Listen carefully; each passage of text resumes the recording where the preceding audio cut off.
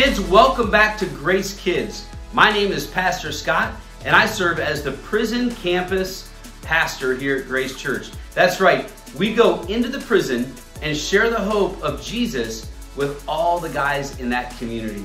Well, hey, it's so great to be joining you again today. You know, in today's story, we will learn all about how God delivered his people. Can you think of a time when something wonderful was delivered to your home? Maybe it was this year at Christmas. Hey, what does it mean to be delivered? Today, we're going to learn about a different kind of delivery where God delivered people out of slavery and into freedom. By His grace, God spared the Israelites from judgment. Oh, wait a minute. Did you hear my dog Olive? Say hi to Olive. By His grace, God spared the Israelites from judgment by requiring the blood of a lamb. You know, Jesus is the Lamb of God who takes away the sin of the world. His death was the ultimate sacrifice, and those who trust in Jesus are under His saving blood and will be passed over in the final judgment. But before we get to the, today's story, let's head over to Grace Kids Trivia to see what you remember from last week's story about how God called and saved Moses. Good luck!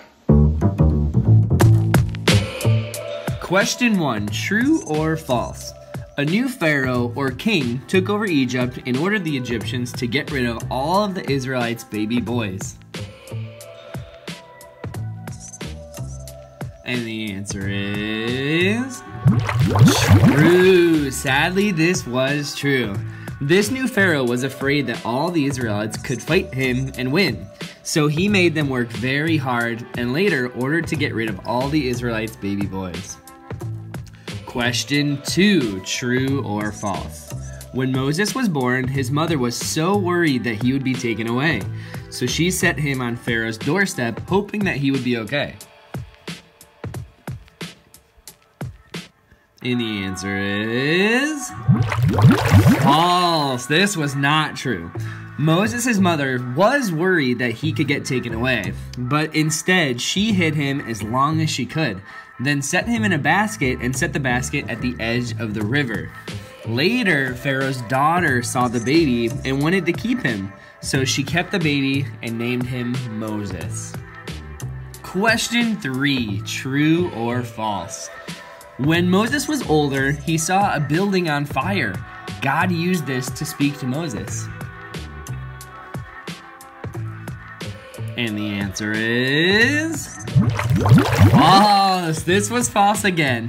You probably remember even from our craft last week, but Moses actually saw a bush on fire, but the bush wasn't burning up. God called from the bush and told Moses that his people were suffering and that he wanted Moses to lead his people out of Egypt to a good land he had for them. Which leads us to our next question. Question 4 True or false? God told Moses that leading the people out of Egypt would be an easy task.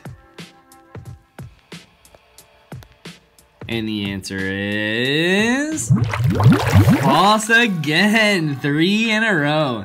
God told Moses that this job would not be easy. Pharaoh would say no, but God promised Moses that the Pharaoh would one day let God's people go.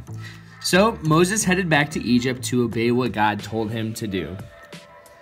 And our final question of the day, question 5, true or false? God saved Moses' life so Moses could grow up and save God's people from the Egyptian Pharaoh. And the answer is true. This was true. God planned for his son Jesus to save people in an even better way.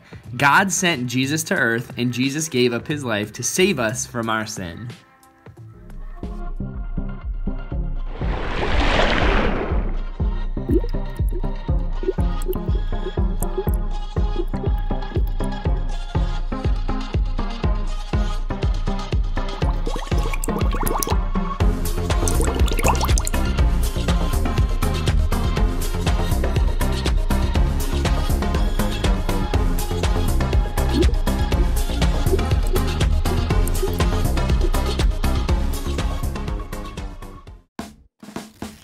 Everyone, I'm Megan. And I'm Jessie. Megan, did you see the hailstorm last night? I did.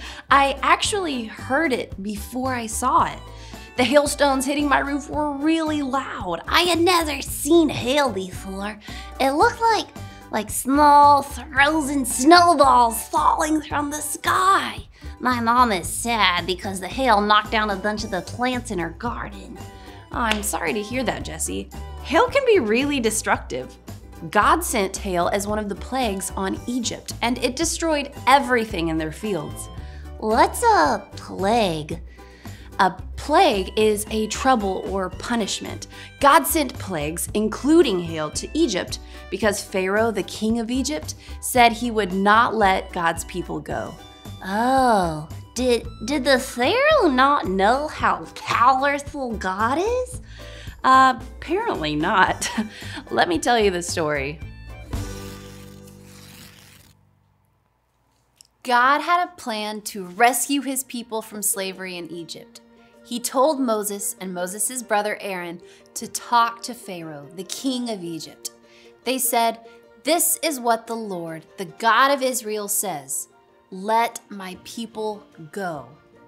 But Pharaoh did not let the people go. Who is the Lord? he asked. I will not obey him. So God punished the Egyptians. First, he turned the water in the Nile River into blood. But Pharaoh did not let God's people go. So God sent frogs into Egypt. Moses said, Let my people go.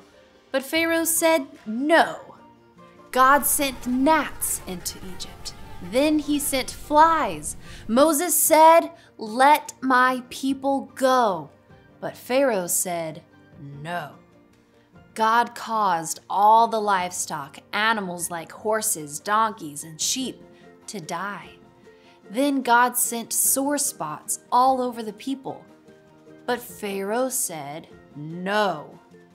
God sent a hailstorm. He sent locusts. Pharaoh said, Go. But then he changed his mind. Then God sent darkness. Moses said, Let my people go. Still, Pharaoh said, No. God told Moses, I will bring one more punishment. After that, Pharaoh will let you go. Moses warned Pharaoh the firstborn son in every family in Egypt will die, but God's people will be safe. Pharaoh did not listen. So God told the Israelites to put the blood of a lamb on the doorposts of their houses. This would be a special mark that God would see, and he would pass over the house. That night, every oldest son in Egypt died. The people cried, and Pharaoh told Moses and Aaron, Go. The Israelites left quickly. They took bread and animals with them. The Egyptians gave them gold, silver, and clothing. God told Moses and Aaron that he was going to bring his people to a new land. God led his people out of Egypt. The Israelites had been slaves in Egypt for a long time. They were finally free.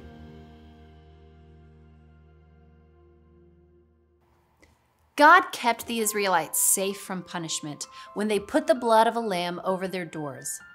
Jesus is the Lamb of God who takes away the sin of the world. Jesus was punished for sin when he died on the cross, and everyone who trusts in Jesus is kept safe from the punishment for sin.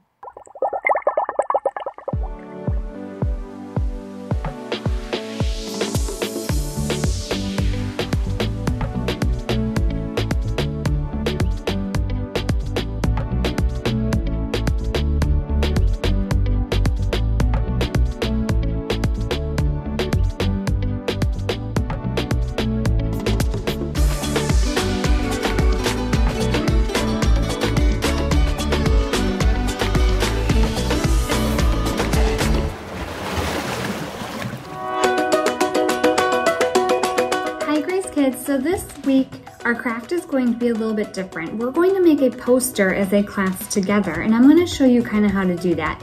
But first, we're going to read this verse, and everybody's going to get a printout of the verse so that you can read it together as a class. Are you ready? It says, God is not human, that he should lie, not a human being, that he should change his mind. Does he speak and then not act? Does he promise and not fulfill? This is Numbers chapter 23, verse 19. And this is what we're going to learn about today the differences between God and humans. And I'm going to show you exactly how to make your poster. Are you ready?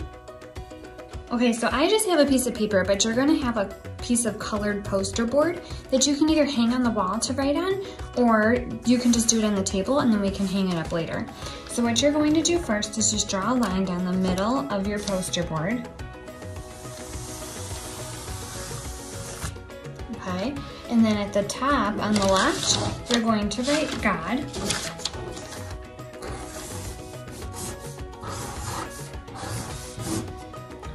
And then the right side, you're going to write human.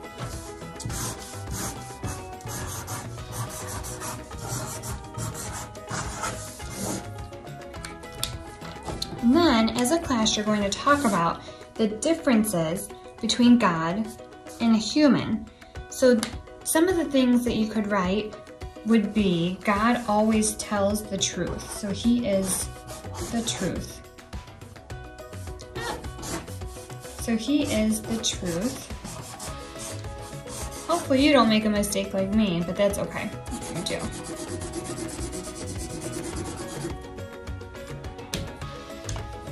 Humans sometimes lie. Humans also sometimes sin because we are not perfect. God is perfect. He is always perfect.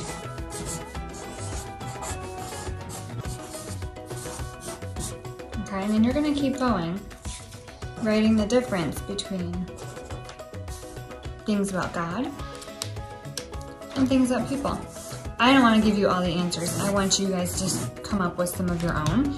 But then you can pick somebody with really nice handwriting to make your poster really nice. You could even decorate it a little bit with different colors. I suggest using markers. If you don't have markers in your room, you could use colored pencils or crayons but markers just show up better on your colored poster board. And then there's gonna be tape in your room that you can hang it up so that everybody can see what you guys came up with as a class and the difference between God and humans in what you learned today in class. I'm very excited to come around and see what you guys learned today by looking at your posters and the differences between God and humans. I hope that you guys have fun doing this together as a class and I'm so excited to see them. Thanks so much for watching Grace Kids TV. Have a great week.